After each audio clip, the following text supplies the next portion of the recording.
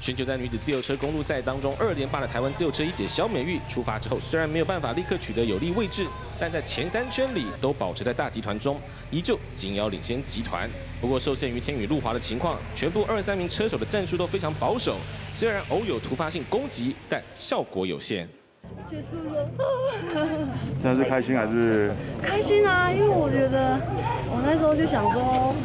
要就是未免可能有点困难，可是我觉得就是有夺牌，我就很高兴。所以在最后一圈冲刺前都呈现乱集团状态，而始终保持在前十名的小美玉，则是用保留体力策略，紧跟在领先集团后，打算在最拿手的进终点前冲刺抢胜。结果在最后发力阶段，还是呈现大队人马拼抢的局面。小美玉最终以三小时三十九秒三三的微秒差距，只排在第三，夺金连霸梦碎，只能铜牌。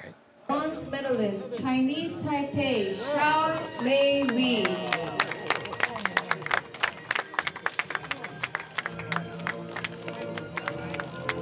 虽然在公路赛卫冕失利，不过肖美玉在继全能赛夺金、团体争先赛、团体追逐赛摘下两铜之后，还是进账了个人在仁川亚运会的第四面奖牌，同时也是第三面铜牌，总共可获得五百七十万的国光奖金，堪称是今年仁川亚运中华代表队的国手当中收获最丰收的女人。